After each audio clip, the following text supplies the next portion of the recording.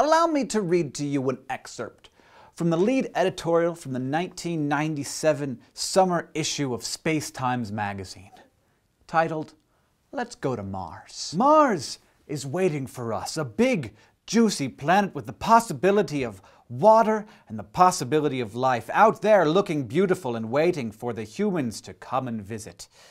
I think that it's a little strange that colonization of Mars is such an obvious next step in the exploration of our universe, and we are not recognizing it. Yeah, I wrote that when I was 17 years old.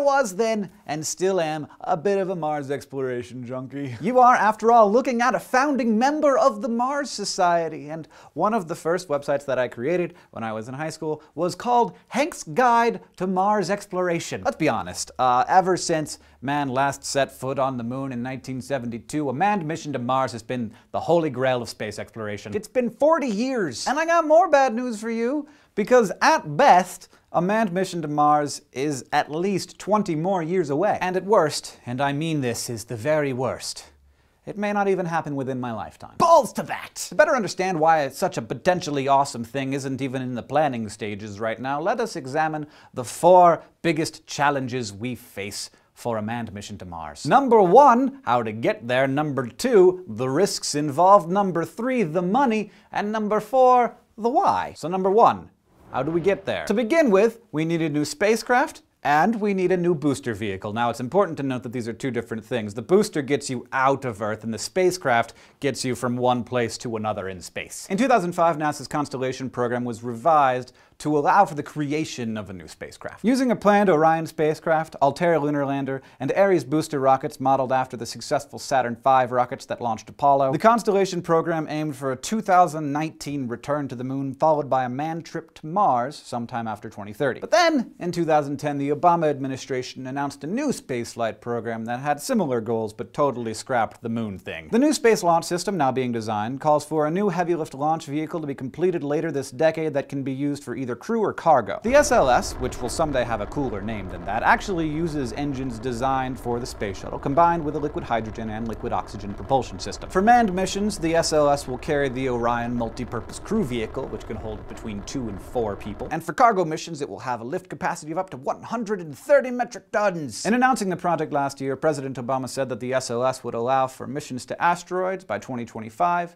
and Mars sometime in the 2030s. This is great and everything, but it's not really a plan. The fact is, nobody really knows exactly how the SLS would get us to Mars, or anywhere for that matter. I recently got to talk to Mars Society founder Robert Zubrin, who was one of my heroes when I was in high school and wrote the amazing 1996 book, The Case for Mars. And he pointed out that the lack of a defined goal for the SLS is a serious problem. He added that the Apollo program succeeded because the Saturn V rockets were developed specifically to go to the moon. The Mars Society is full of really good ideas for how to get to Mars. One of them, called the Mars Direct program, calls for utilizing two launch windows that occur 26 months apart. The first launch would involve the Unmanned Earth Return Vehicle, the ERV, which would land on Mars way before astronauts get there and basically set up on Mars a rocket fuel making facility. 26 months later, the manned habitat would be launched along with a second ERV, and the reason for that second ERV basically as a backup. The second ERV would go much slower than the manned crew vehicle, so the crew would land, make sure that the first ERV was functional, and if not,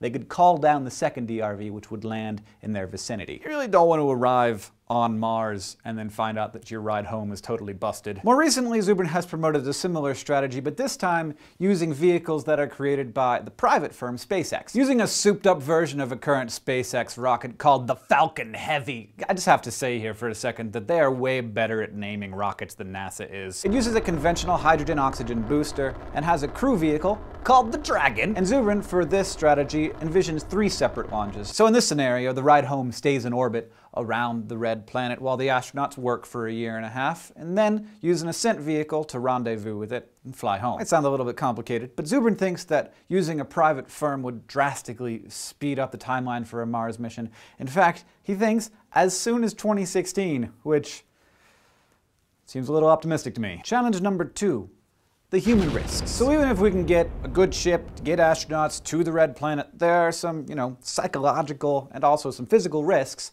that these people will be taking. Your number one and number two here are radiation and isolation. The trip to Mars is about six months, and also the trip back is about six months. And uh, during those six months, astronauts will be exposed to unhealthy amounts of radiation. And once they get back, we want them to go and do parades and be national heroes. We do not want them to die of cancer. Considering that some Apollo astronauts suffered cataracts because of their very limited exposure during their 12-day missions. Protecting a Mars crew on a mission that's 50 times longer than that turns out to be a pretty tremendous challenge. There are ways, of course, to block radiation, including thick pieces of plastic, and even water, but those things are heavy, and heavy is bad when it comes to spaceflight because that means more fuel, more expense, and less chance that it's actually going to happen. And the sun is a tricky beast. Sometimes uh, it'll be, you know, pretty manageable background levels of radiation, but occasionally it shoots up these giant bursts of solar energy in the form of solar flares. A large solar flare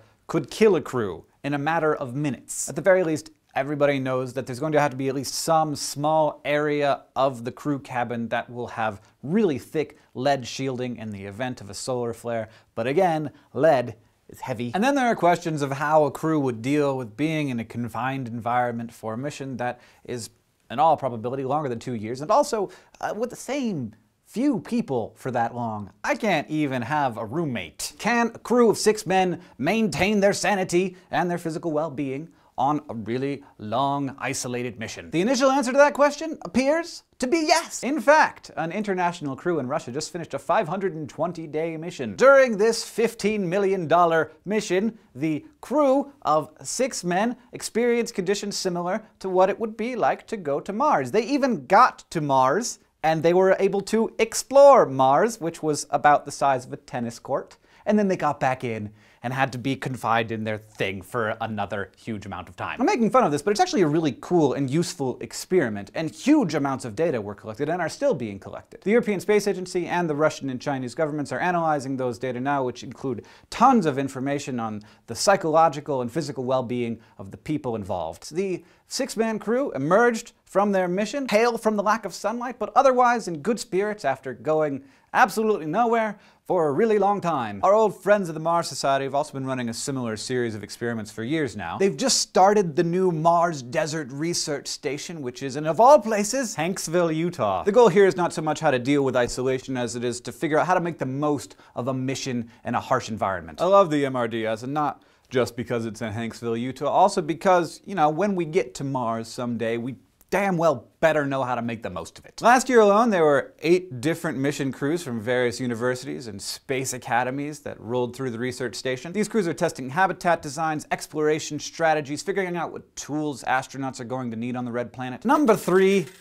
the money. Given the worldwide economic climate, coming up with the billions of dollars necessary to send people to Mars turns out to be a bit of a challenge. And that's before we even get up in space. And given that no official mission exists. Yeah, I'm not counting. We'll get there in the 2030s as a plan. Cost estimates for getting humans to Mars are hilariously all over the spectrum. From $20 million to $400 billion, it's futile to say anything other than it's going to be extremely expensive. For now, we can look at ways to potentially bring the cost down, like international partnerships and dealing with private firms like SpaceX. For example, Zubrin noted to me that NASA's budgeting about $18 billion for their space launch system, but he thinks it can be done for less than five. So does $5 billion.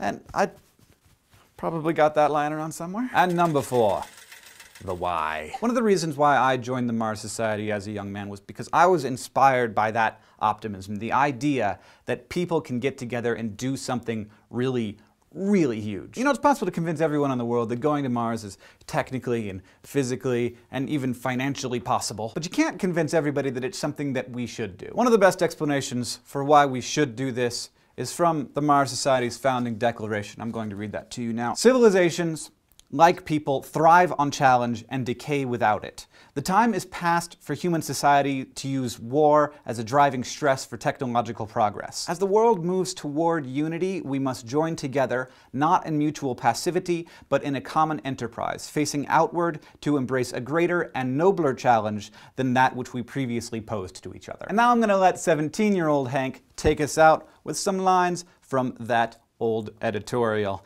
Isn't it obvious that Mars is calling to our world? It's a little bit too coincidental for me, almost like there is someone or something out there giving us signs to go to Mars, and we need to listen. We have the technology, we have the people, we have the need for a manned mission to Mars, so why can't we just do it? I have to tell you that that last sentence was in the editorial written in all caps. I can't say that I remain proud of my writing skills as a 17 year old, but I can say that I remain proud of the kind of optimism and excitement that I had and I still have for this kind of enterprise. So I guess now uh, all we need is a plan. Thank you for watching this episode of SciShow. I hope that it was as exciting for you as it was for me. We'll be on Twitter and Facebook answering your questions and taking your suggestions and also, of course, in the YouTube comments below. Goodbye.